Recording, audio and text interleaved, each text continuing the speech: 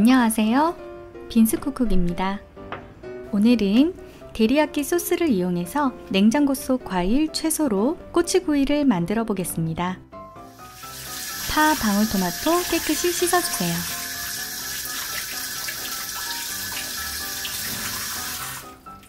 대파는 5cm 길이로 잘라줍니다. 방울토마토는 그대로 사용할게요. 파인애플 4등분 해주고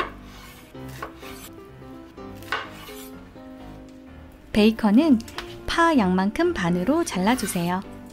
대나무꽂이 준비해서 파 돌돌 말아서 끝나는 부분이 안쪽으로 두 번째부터는 마주보게 꽂아주세요. 이렇게 하면 꼬지를 구울 때 베이컨이 쉽게 풀어지지 않습니다.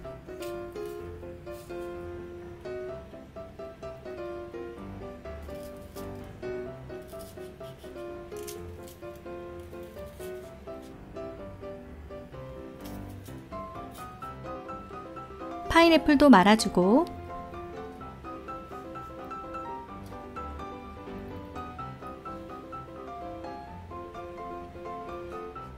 방울토마토도 말아주세요.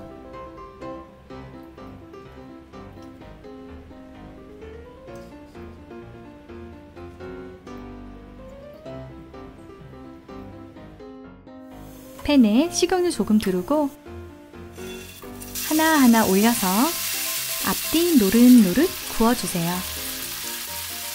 데리야끼 소스를 앞뒤로 여러 번 얇게 발라가면서 구워주세요.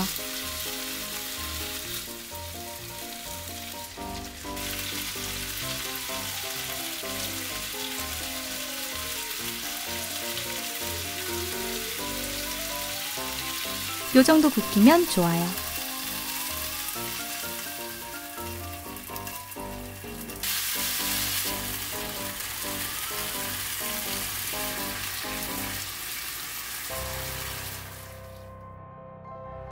짠!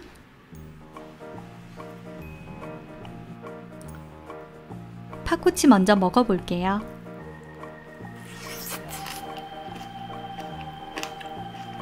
정말 너무 맛있었어요.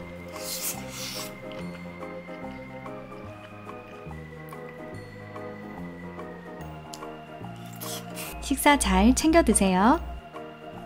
저는 다음 영상에서 다시 뵐게요. 감사합니다.